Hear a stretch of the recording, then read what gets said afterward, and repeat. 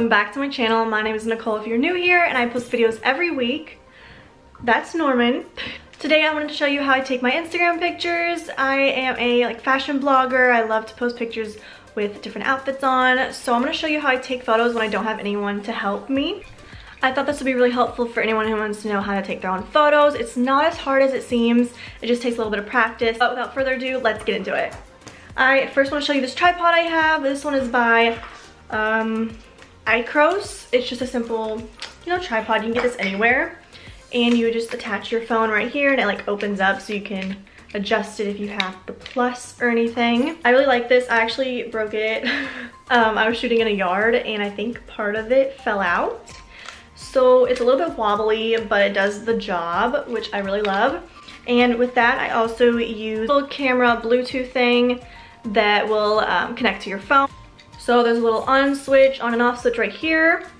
And I will just turn it on. And then you can take photos. And it's really cool because it really helps it like on the fly instead of using self-timer because self-timer can take forever, a lot more natural. So I really like this. I got this with my ring light. I didn't mean to actually buy this uh, but it came with it so I was like okay let's do this for photos if you've seen the clip that I'm gonna show you all I hide it behind like my back or I put it on my side and turn so you can't see the button because no one wants to see you clicking a button in your photo you know what I mean I'm trying not to let the air come on because you won't be able to hear me but I took a couple outfits. Um, usually when I go take my photos in LA, there are so many places in LA to take photos in front of, way more options than I did in Kentucky. So it usually takes me a while to find like places to shoot in front of because I can't decide. But I usually try to stay close to my car because you can get parking tickets if you're parked on the side of the street, which is mostly what, what I do because I don't want to pay for parking meters or whatever. So that can be hard. Um, yeah, I actually caught a lady giving me a parking ticket when I was like almost to my car, like no joke. So I try to stay close to my car as you can see, I just pull up to like a random like house or something. I stay on the sidewalk. Sidewalk is for the public, so I usually take my photos on the sidewalk. I don't really walk up to any houses. And yeah, I try to stay really close to my car, also because I don't want people to steal my things. So I'm really paranoid about that. I'm like always afraid someone's gonna break into my car. I thought this would look really cute with the like the white detailing because my outfit is all white and then we have the cactus. Ew okay, my car isn't on, so I can't roll down my window, but you get the point.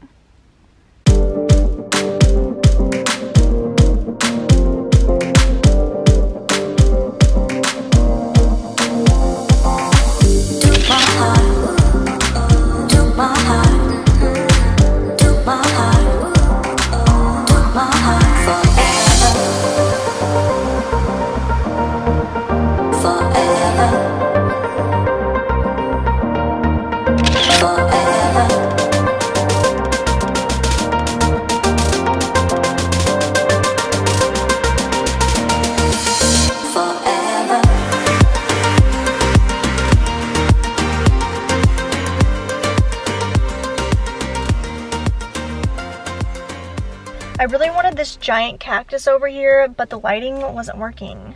I guess it's just not that time of the day yet. But it's been really cute though. So I, I don't know, I might use it. It's kind of shady, but I don't know. So I hope you all enjoyed the first outfit. That one is so cute. I love an all white outfit. I didn't really want to use the cactus because it was just, mm, I don't know, it's too busy for my feed right now, but it was really, really cute. I decided to actually shoot this around the corner from my apartment on this white wall. Just something really simple I wanted to add to my feed. The next day, and I'm still shooting content. It takes me like a couple days. I don't like to shoot too many outfits in one day. So um, this is not the outfit I'm wearing. I'm wearing a different one, but the top is kind of like small and I don't want my boobs to pop out in public. So we're gonna shoot that somewhere else. I usually use this as an excuse to get some coffee when I shoot by myself. So that's what I'm gonna do. I'm gonna get some Alfreds and then I'll be right back. Got my coffee. I got the iced caramel latte with oat milk. It's my favorite from Alfred's. so good. I'm at the parking garage at the Grove. Lately I've been loving the um, vibe of like photos in parking garages. That sounds so weird, but I don't know. I've just been liking it lately. I think it looks like different, unique. So I am in the parking garage and I'm gonna take some photos right up here I parked on a level where there's not that many cars, so hopefully no one will like walk by or bug me. Show you, there's like kind of a lot of smog out today, so um, I guess it'd be cute. I don't know. I guess it'd be okay. I don't know, but I'm gonna change my top. I'm gonna wear this little cute like um, satin top from RUMI. So luckily I parked where no one is so I can change.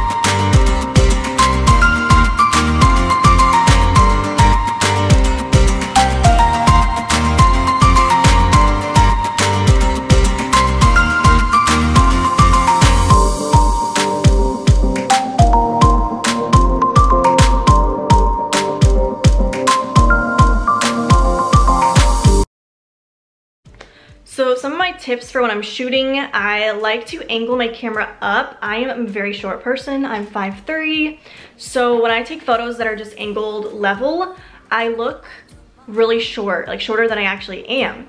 So when I angle it above, I looked way taller, my legs look longer, I just look way better. So usually when I'm doing poses, I usually just like move around. I don't really know if I, I don't really do any specific poses. Also another tip is always use your back camera.